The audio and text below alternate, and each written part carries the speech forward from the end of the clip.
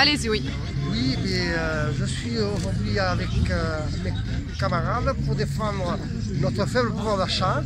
Et on est ici au rond-point, on voit que l'accès, tout est relatif du centre Leclerc. Et ça se passe bien en général, sauf deux ou trois imbéciles qui, sont contre euh, le mouvement. voilà.